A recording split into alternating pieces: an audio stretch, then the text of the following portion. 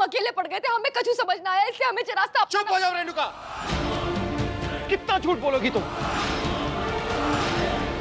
सबसे पहली बात तो ये कि जब तुमने कहा कि नव्या को स्टोर रूम में बंद किया तो मैं खुद गया था स्टोर रूम में देखने के लिए। वहाँ पर नव्या नहीं थी। और दूसरी बात ये कि जीजी को जैसे ही सच का पता चला जीजी गई उन्होंने शादी को तोड़ दिया। और तीसरी बात ये कि मैं इन सब में कहा था। बोलो। अगर नव्या को सारा सच पता था तो मेरे पास क्यों नहीं आई? आदि को क्यों नहीं बताया? आदि को नहीं बताया क्योंकि आलोक जी ने धमकी दी थी नव्या को। आलोक जी क्यों धमकी देंगे नव्या को? किस बात की धमकी देंगे? बोलो। उन्होंने धमकी दी थी नव्या को कि अगर उसने अपना मुँह खोला तो वो सबको बता देंगे कि क्या? क्या बता देंगे आलोक जी? बताइए ना सासू माँ।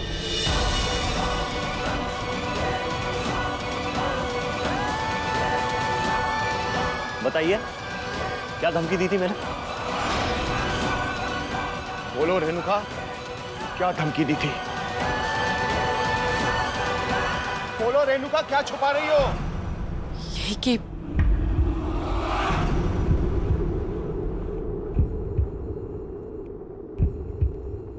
ये कि नव्या पेट से नहीं है।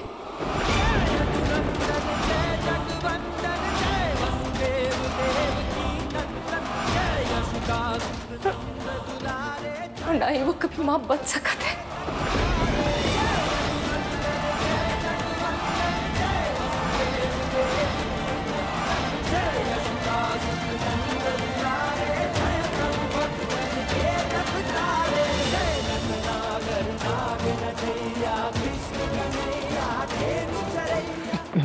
झूठ बोला तुमने मुझसे। क्यों रेणुका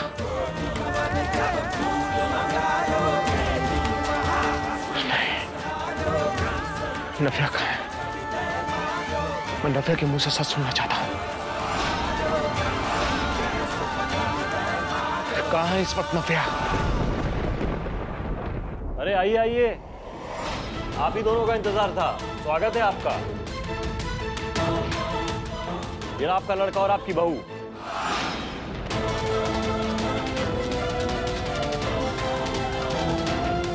जिया जी प्लीज़ इसमें मम्मी और नव्या की कोई गलती नहीं है। मम्मी ने तो ऑलरेडी पापा को सब कुछ बता दिया था। अरे किसी ने कुछ नहीं बताया मुझे।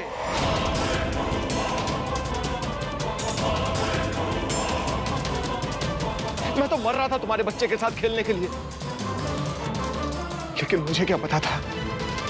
कि मेरी पत्नी मुझसे इतना बड़ा सच छुपा कर बैठी है।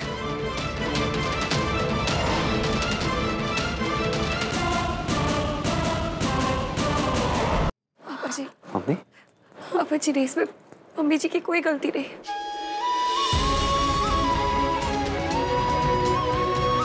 कभी मुझमें तुम्हारी कोनो गलती नहीं है। तुम्हारे साथ जो कुछ भी हुआ है, वो बंसी वाले की मर्ज़ी है।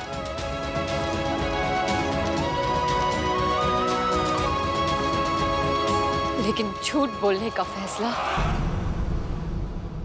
हमारा था।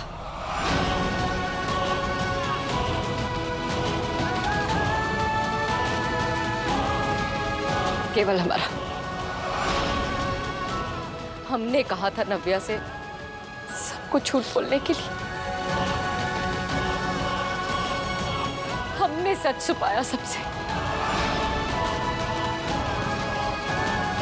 हमें लगा था कि हम चाहे डॉक्टरों की मदद से या बंसी वाले की कृपा से कौन रास्ता निकाल लेंगे जिससे हम इस गुड न्यूज़ को सच की गुड न्यूज़ बनाए लेंगे। लेकिन कैसे?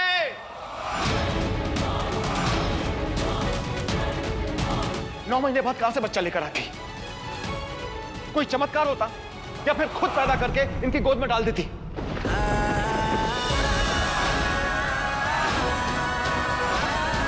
अरे जवाब दो, रेणुका, कैसे लेकर आती तुम बच्चा?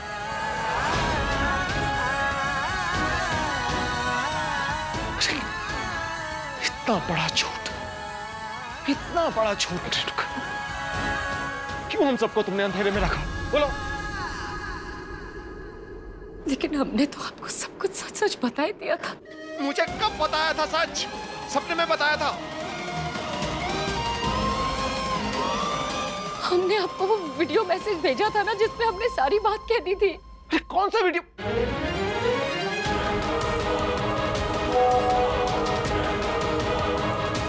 हम नहीं जानते कि हम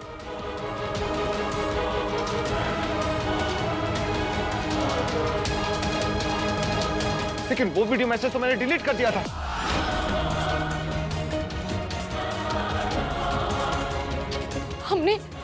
हमने सब कुछ कह दिया था उस वीडियो में। एक मिनट हमारे फ़ोन में है वो वीडियो। हम दिखाते हैं आपको। एक मिनट।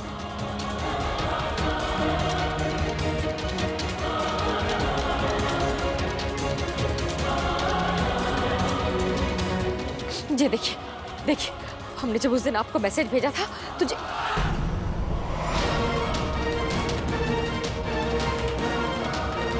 कहाँ गया?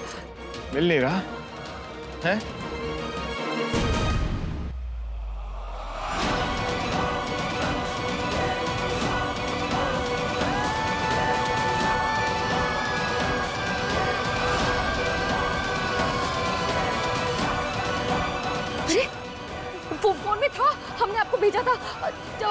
वीडियो भेजा था तो वो था इसमें। वाह लल्ला वाह।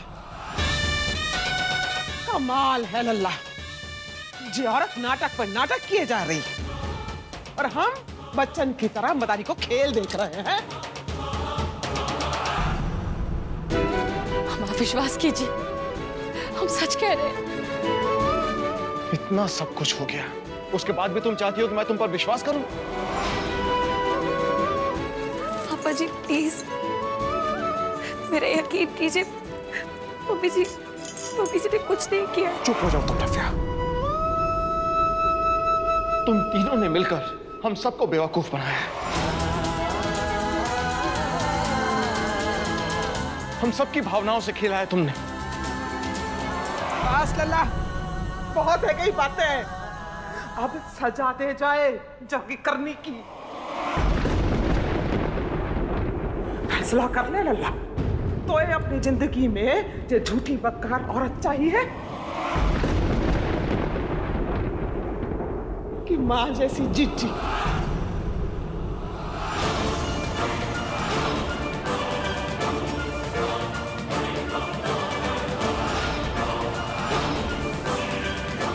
पापा जी नहीं इस गुस्से या जल्दबाजी में कोई फैसला मत दीजिएगा। तू तू चुप कर। नाक में दम कर रखो है तैने और तेरी सास ने मिलके। पहले आंचल को घर से भगाने की कोशिश की, फिर भाँग के बहाने से हवाई के सामने हमारा अपमान कियो। और आज जे तमाशो करके हमारी जगह सही करवा दी, हैं? हमने जो कछु भी किया, अपने परिवार की भलाई के लिए किया। लेकिन महिला मोर्चा वालों को हमने नहीं बुलाया और न ही ये सब हमें पता था। का हुआ लल्ला हाथ चो बंद गए थे। मन में प्रेम उमड़ रो पत्नी के लिए।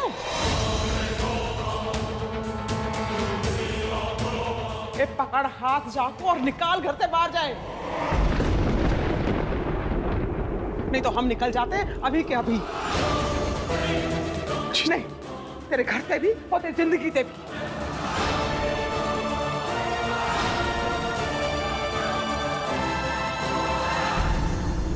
ओह समझ गई। हमारी गलती है कि हमने आज तक जो विश्वास कियो कि तू अपनी माँ के मान पे आज ना आने देगो कभी।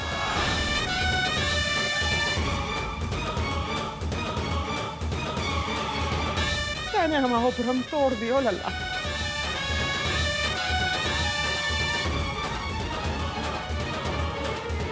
तो हमारी जगह झूठी औरत को चुन रहा है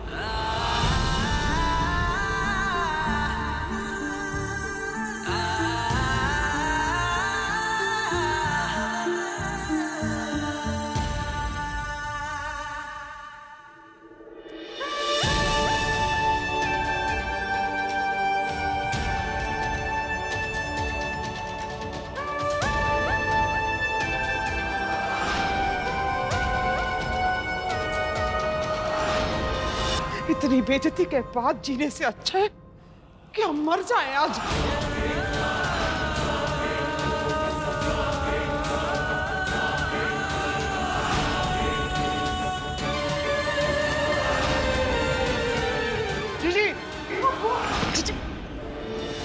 छोड़िए इसको।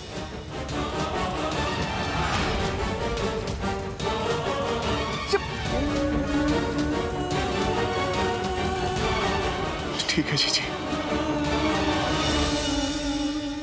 जो आप चाहेंगे वही होगा।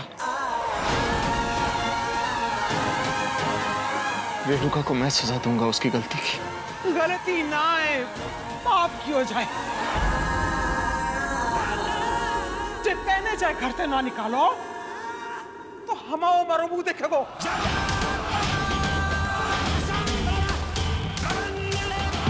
मम्मी, जीजी नहीं।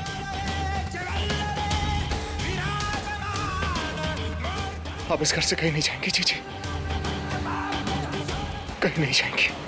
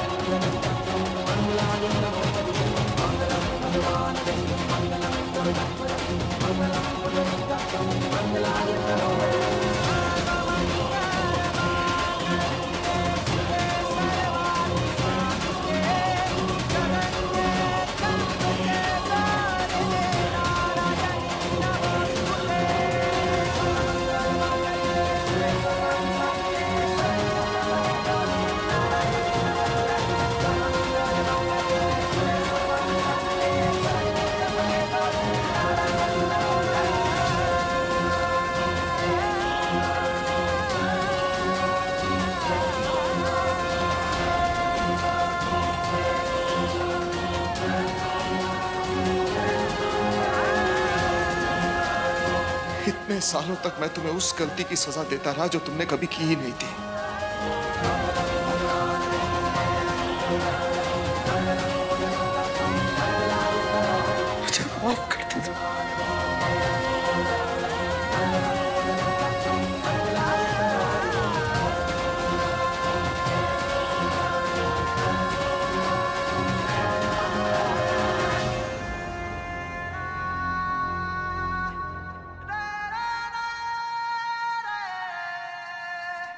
पापा एक मिनट।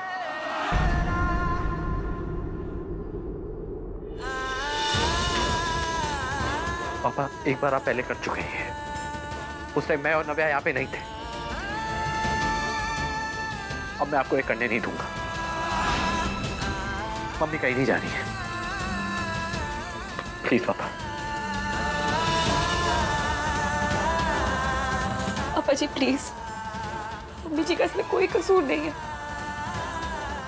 गलती मेरी आप सजा मुझे दीजिए प्लीज़ प्लीज़ पापा मम्मी जी के साथ ऐसा मत कीजिए। ऐसा मत करिए प्लीज़ ठीक है।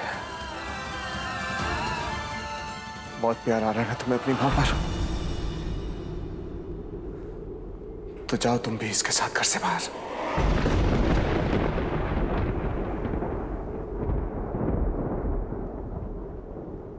तीनों में से कोई भी नहीं चाहिए मुझे अपनी ज़िंदगी में।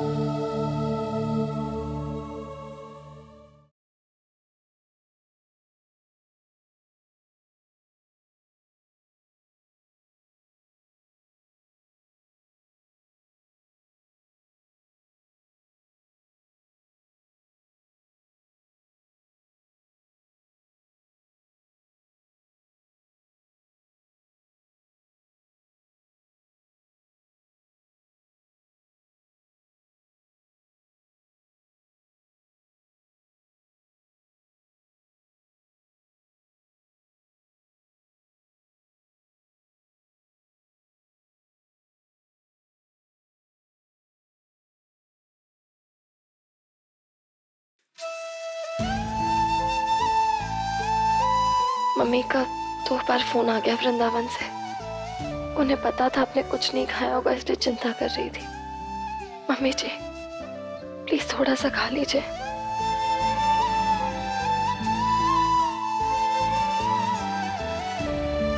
चलिए मम्मी, खाना खाते हैं।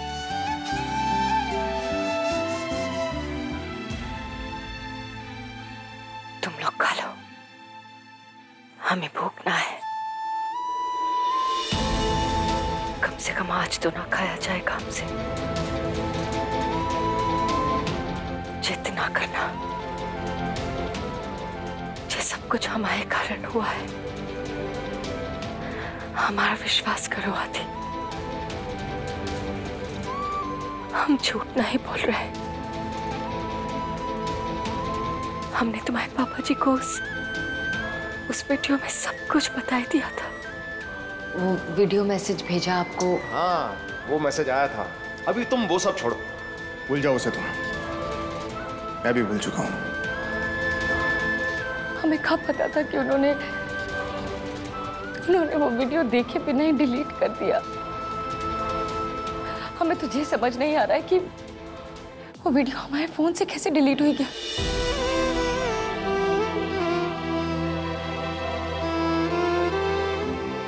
कैसी बातें कर रही है मम्मी? आपके आदि को आप पे पूरा विश्वास है। और मम्मी अब जो भी कर रही थी या करने वाली थी, वो हम दोनों की भलाई के लिए कर रही थी ना? ऐसा कैसे कर सकती हो तुम, रेणुका? इतना बड़ा सच मुझसे छिपाया। अभी तो हमारे बीच की दुनिया खत्म ही हुई थी। कि तुमने फिर से मेरे विश्वास को तोड़ दिया। कैसे अभागी माँ है हम? हमारी वजह से हमारे बच्चों को अपना घर छोड़ना पड़ा।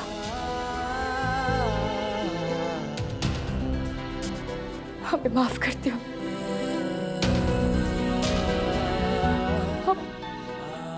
शर्मिंदा है।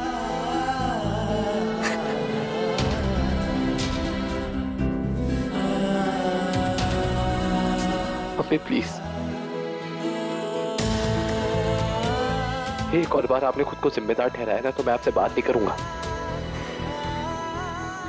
अब आपका एक आँसू नहीं बहेगा।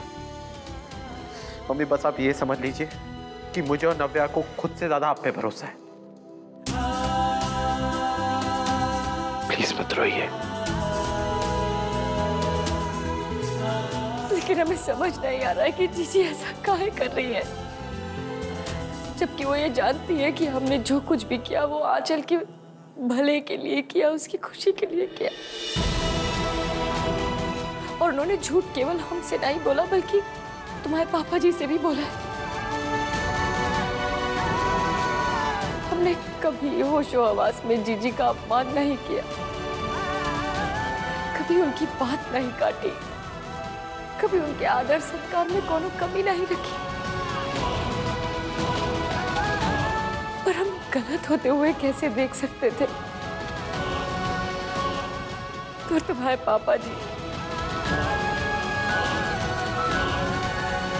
उन्होंने बिना कुछ जाने, बिना कुछ समझे कैसे मान लिया? हमने जीजी का अपमान किया है? जानबूझकर।